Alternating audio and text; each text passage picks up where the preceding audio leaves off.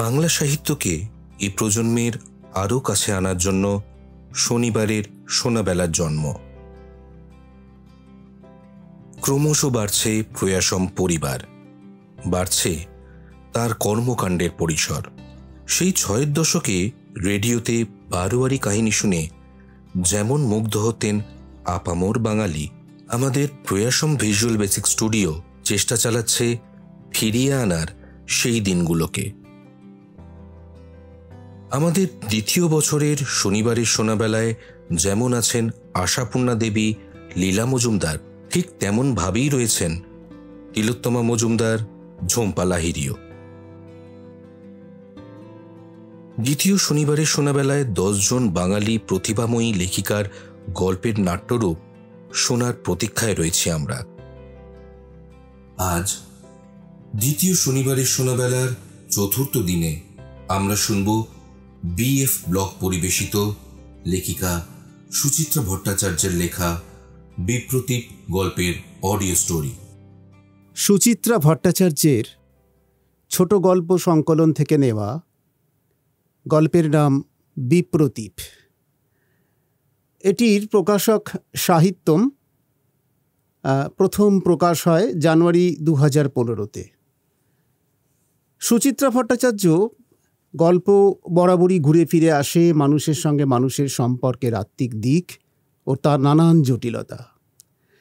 এখানে সারা জীবন শিক্ষকতা করা একজন অবসরপ্রাপ্ত শিক্ষকের জীবনে নানা যন্ত্রণা, বঞ্চনা এবং মানুষের দ্বিচারিতা বা চারিত্রিক বৈপরীত্যের ছবি ফুটে উঠেছে এই গল্পের মধ্যে।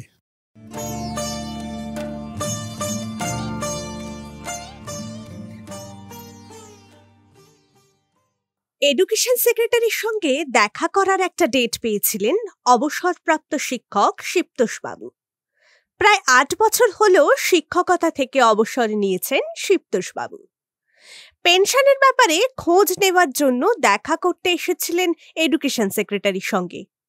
কিন্তু সেক্রেটারি সাহেব নিজেই আজ অফিসে আসেননি। মনটা বেশ অবসন্নই শিপ্তোষের। এডুকেশন ডিপার্টমেন্টের অফিস থেকে বেরিয়ে ফুটপাত ধরে হাঁটছিলেন শিপ্তোষ হঠাৎ কুশলের সঙ্গে দেখা। স্যুট টাই পরা কেতাদুরস্থ চেহারা কুশলের।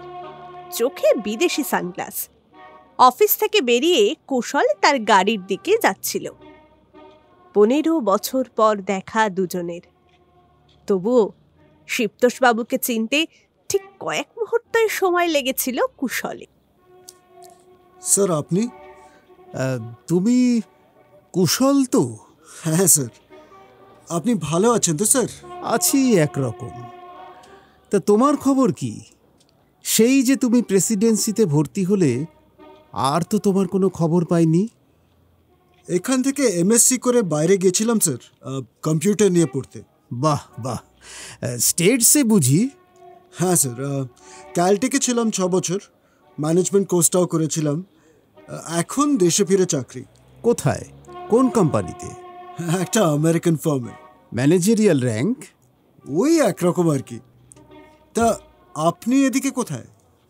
আর বলো না। পেনশনটা আটকে আছে আজ আট বছর।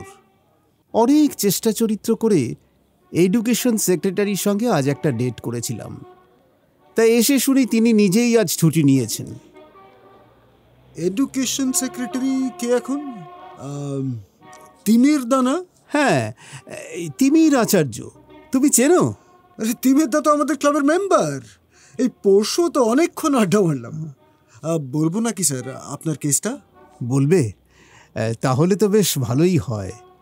বৃথাই দিনের পর দিন ঘুরে মরছি। পেনশন গ্র্যাচুইটি কিছুই এখনও পেলাম না। না না এ তো ভারী অন্যায়। ঠিক আছে আমি দেখছি স্যার। শিপ্তসের হঠাৎই মনে হলো নিজের কথা শোনাতে গিয়ে কুশলের সম্পর্কে কিছুই জানা হয়নি।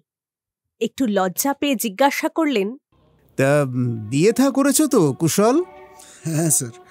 এই বছর ছয়েক হলো। তোমার ছেলে মেয়ে? একটি ছেলে আর সবে মাত্র নার্সারিতে ভর্তি হয়েছে। বাহ বাহ। খুব ভালো খবর। কি রেজাল্টটাই না তুমি করেছিলে মাধ্যমিকে? জানো তোমার বাবা চেয়েছিলেন তুমি হায়ার সেকেন্ডারিটা কোনো নামকরা স্কুল থেকে করো কিন্তু তুমি আমাদের ছেড়ে গেলে না।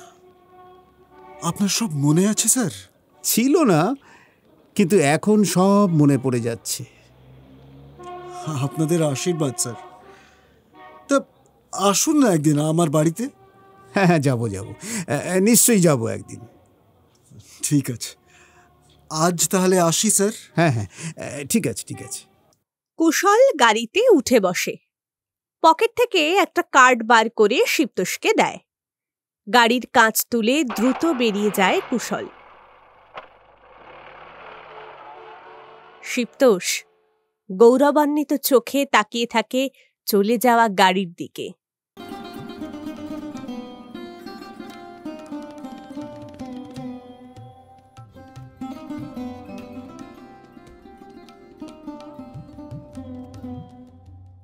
শিবতোষ মাস্টারমশাইয়ের বাড়িতে প্রাচুর্য বা বাহুল্য একদমই নেই বললেই চলে।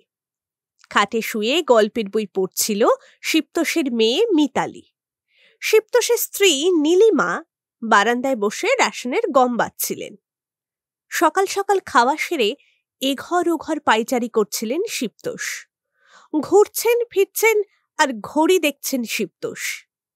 এখন দুটো বাজে। শিবতোষ ব্যস্তভাবে মেয়েকে বললেন আমার ধুতি পাঞ্জাবি বার করে রেখেছিস তো। গরদের পাঞ্জাবি ইস্ত্রি করে রেখেছি বাবা। বড়দের পাঞ্জাবির সাথে নকশা পাড়ের ধুতিও বার করে দিস। না না না না। এ- এ- এই গরমে আমি গরদ পরব না। মিতু তুই বরং আমার আদ্যির পাঞ্জাবিটা বার করে দে। একটু সেন্ট মেখে নিও। বড় লোকের বাড়ি যাচ্ছ গা দিয়ে ঘামের গন্ধ বেরোলে তারা কিন্তু নাক সিটকবে। শিবতোষ এবার বিদ্রুপটা বুঝতে পারলেন। মিতু সারাটা জীবন তো তোর মায়ের হেঁসেল ঘরেই কাটল। গুরু শিষ্যের সম্পর্কের মহিমা কি বুঝবে বল? তাছাড়া প্রিয় ছাত্রকে জীবনে উচ্চ প্রতিষ্ঠিত হতে দেখলে একজন শিক্ষকের যে কতটা আনন্দ হতে পারে সে আর তোর মাকে কি করে বোঝাবো বল? কিন্তু বাবা এত তাড়াতাড়ি বেরোনোর কি আছে? তুমি আর একটু বিশ্রাম নিলে পারতে, বাবা। ট্রেন তো সেই তিনটে চল্লিশে। সোয়া তিনটে নাগাদ বেরোলেও চলবে। এই রোদ্দুরে এতটা পথ যাওয়া এই তো পথ। কি আর এমন দূর? ছুটির দিন আজ এমনিতেই ট্রেন কম। কুশলকে আমি পাঁচটার মধ্যে পৌঁছবো কথা দিয়েছি। তাছাড়া আজকাল নিয়মানুবর্তিতা শব্দটাই তো উঠে গেছে রেল কোম্পানির অভিধান থেকে। আর আছেই বা কোথায়? স্কুল, কলেজ, অফিস, সংসার, রাজনীতি সর্বত্রই অদ্ভুত বিশৃঙ্খলা। তা একটু না হয় আগেই বেরোলাম। এখন আর কাকে দিয়ে কি উপকার হবে বুঝি না বাপু। স্কুল আর ছাত্র নিয়েই তো সারা জীবন হেদিয়ে মরলে। কি পেলে শেষে? তখন তো খুব আদর্শ দেখিয়ে টিউশনি করতে না। সেই ধরলে শেষ বয়সে। দেখো, আর কি আছে কপালে? মাত্র আট বছরেই এত ভেঙে পড়লে? আমার মতন কত মাস্টার পেনশন পাওয়ার আগেই মরে গেলেন তার খবর রাখো। জানো না তো গ্রামের স্কুলগুলোর কি অবস্থা? এ- এই তো কদিন আগে পাশের গ্রামের এক মাস্টার বাহাত্তর বছর বয়সে গলায় দড়ি দিয়ে বললেন খেতে না পেয়ে তোমার এই ছেলেটা কিছু করতে পারবে বলে মনে করছ? বাবা তোমার এই বই দুটো আমি সুন্দর করে রঙিন কাগজে প্যাক করে দিয়েছি। নিতে ভুলো না। হেমিংওয়ের old man and the sea. আর এটা সঞ্চয়িতা। প্রথম দিন প্রিয় ছাত্রের বাড়ি যাব একেবারে খালি হাতে কি যাওয়া যায়? হ্যাঁ তা ঠিক। কিন্তু একদম কমন বই সব বাড়িতে থাকে। তুমি বরং দুটো ক্যাসেট কিনতে পারতে। সীতার বা শরৎ?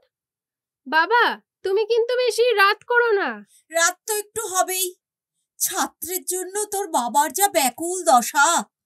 তাছাড়া তোর বাবার কুশল কি আর না খাইয়ে ছাড়বে? নতুন বৌমা পাবে নতুন নাতি। তা যাওয়ার সময় একটু মিষ্টি কিনে নিও। তোমার তো আবার সাংসারিক বুদ্ধি কম। আর মিষ্টিটা বউয়ের হাতে দেবে। না বাবা মিষ্টি নিও না। বড় লোকের বাড়ি মিষ্টি নিয়ে গিয়ে কি হবে? তোমার ছাত্রের একটা ছেলে আছে বলেছিলে না? বাচ্চাটার জন্য বরং মিল্ক চকলেট নিয়ে নিও। শিপ্তোষ ঘড়ির দিকে দেখলেন। ঘড়িতে এখন তিনটে দশ। শিপ্তোষ বেরিয়ে পড়লেন বাড়ি থেকে। বাইরের প্রখর উত্তাপে শিপ্তোষ হাতের ছাতা খুললেন, অন্য হাতে উপহারের বই।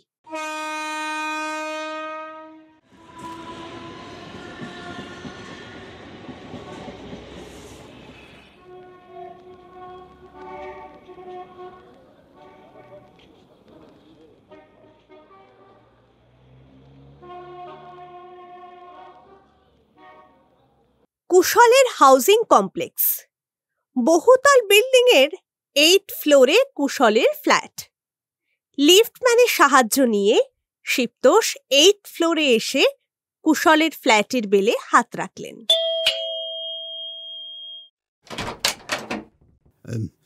কুশল দাশগুপ্ত আছেন? আসুন।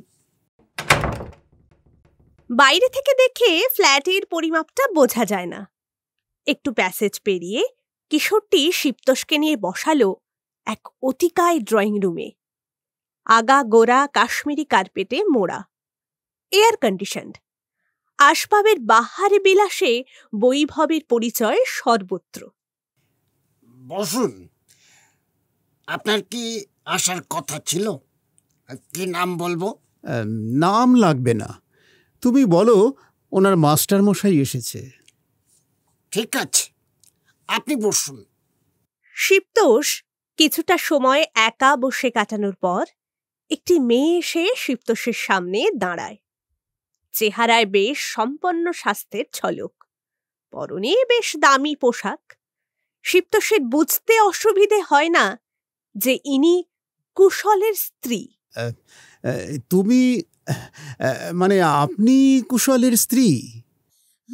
আমার নাম লোপামুদ্রা আপনি দাঁড়িয়ে কেন? বসুন না। না মানে আমি একটু কুশলের কাছে এসেছিলাম। হ্যাঁ বলুন কি দরকার?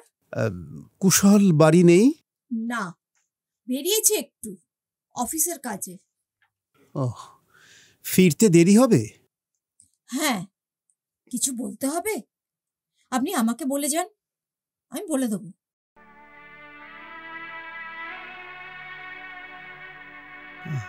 শিপ্তোষ একটু হতাশই হলেন। নিঃশ্বাস চেপে নিজেকে প্রবোধ দেওয়ার চেষ্টা করে। আসল কথাটা বলতে পারে না।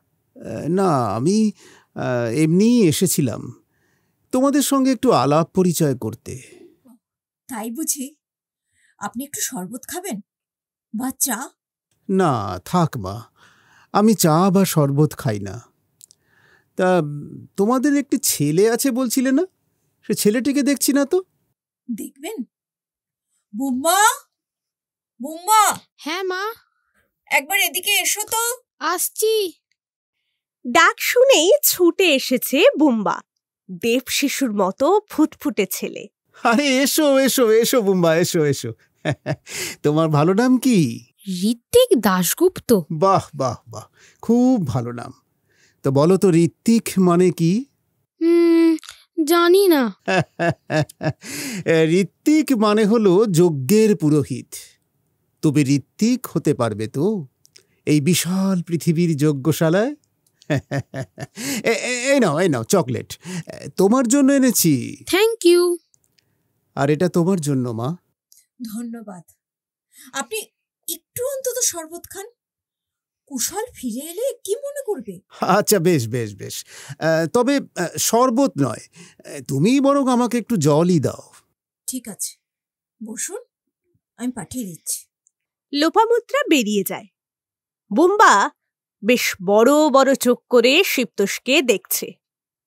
একবার পেছন ঘুরে ভেতর দিকটা দেখে নিল। তারপর ফিসফিস করে শিপ্তোষকে প্রশ্ন করে তুমি বুঝি বাপির মাস্টার মশাই হুম। কিন্তু তুমি কি করে জানলে? বারে বাপি তো মাকে বলল আমার স্কুলের একজন টিচার এসেছে।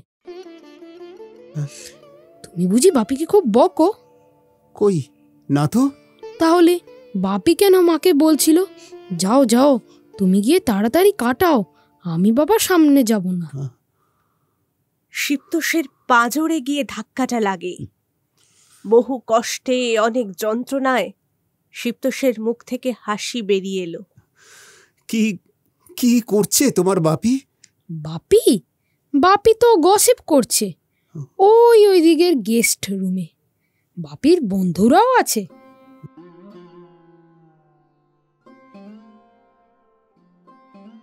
শিপ্তোষের মুখের হাসি মরে আসছিল। একটি ছেলে এসে সামনের টেবিলে জল রেখে চলে যাচ্ছিল। শিপ্তোষ তাকে ডাকলেন। শোনো মেম সাহেবকে ডাকো কথা আছে। কিছু বলবেন? হ্যাঁ।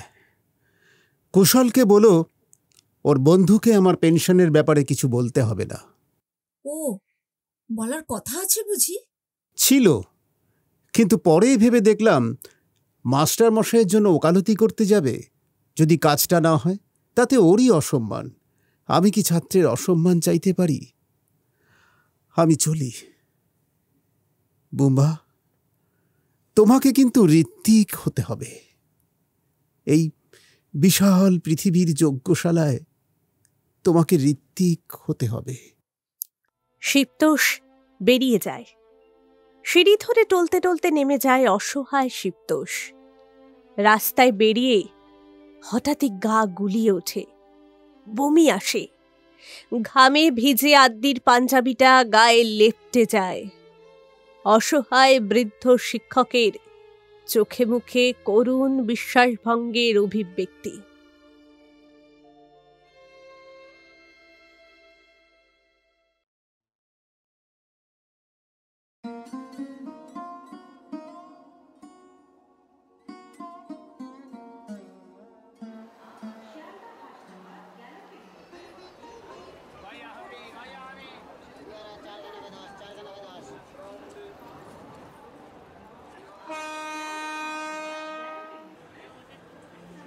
ট্রেন।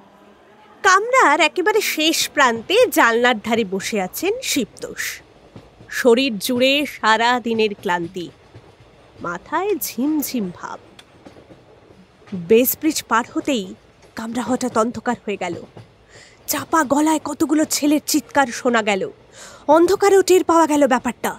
ছড়িয়ে ছিটিয়ে বসে থাকা কয়েকজন মহিলা, পুরুষ, আতঙ্কে শিহরিত। হঠাৎই শিপ্তসের উল্টো দিকে বসা ভদ্রলোকের মুখে টর্চ ফেলল দুটো ছেলে।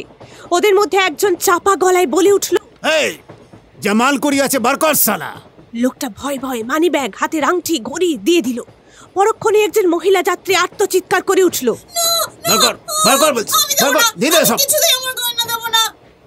এবার শিপ্তসের মুখের উপর জোরালো টর্চের আলো পড়ল কিন্তু কয়েক মুহূর্তের মধ্যেই নিভে গেল টর্চ। আপনি কেন এই গাড়িতে কি ঝামেলা মাইরি? এই এই এই চল সালা চল চল নেমে বস সব তাড়াতাড়ি। সালা ধান্দাটাই আজ বরবাদ হয়ে গেল। গাড়ির গতি একটু কমতেই লাফিয়ে নেমে গেল ছেলেগুলো। শিবতোষ যে জানলার ধারে বসেছিল সেই জানলার বাইরের দিকে দেখা গেল ছেলেটিকে। শিবতোষের উল্টো দিকে বসা ভদ্রলোককে উদ্দেশ্য করে বলে সালা কপালটা খুব ভালো মাইরি আপনার। কার মুখ দেখে যে সালা আজ উঠেছিলাম? সালা দিনটাই আজ নষ্ট হয়ে গেল। এসব ধান্দার ট্রেনে কেন যে এসব লোক ওঠে? এই নিন আপনার সম্মান করি। বলেই জানলা দিয়ে ভদ্রলোকের গায়ে আংটি ঘড়ি পার্স ছুড়ে দিল সে। মুহূর্তের মধ্যে উধাও হয়ে গেল সবাই। যাত্রীরা সবাই হতভম্ব। এ ওর মুখ চাওয়াচাই করছে। হঠাৎ সামনে বসা ভদ্রলোক শিবতোষকে বললেন চিন্তাই পার্টি উঠেছিল বুঝলেন? ধরতে পারলাম না হারামজাদাগুলোকে। যত সব অ্যান্টি সোশ্যাল তা কি মশাই? আমার চেনা আছে বুঝি? শিবতোষ অমলিন হাসলেন। তারপর পরিষ্কার দৃঢ় স্বরে বললেন হ্যাঁ আমার ছাত্র ছিল। আমাকে দেখে লজ্জা পেয়েছে অনুতপ্ত হয়েছে। শিবতোষ চোখ বুঝলেন মাথাটা পেছনে হেলিয়ে দিলেন। ট্রেন এগিয়ে চলল।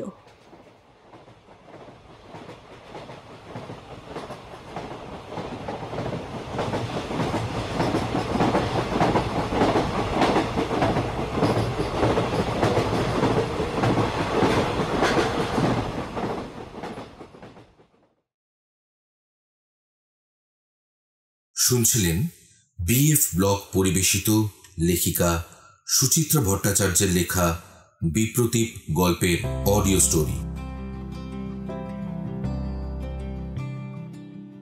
দ্বিতীয় শনিবারের শোনাবেলায় নতুন অডিও স্টোরি নিয়ে ফিরে আসব আগামী শনিবার। ভালো থাকবেন, ভালো রাখবেন। আর শুনতে থাকুন প্রয়াসম ভিজুয়াল বেসিক স্টুডিও আয়োজিত দ্বিতীয় বছরের শনিবারের শোনাবেলা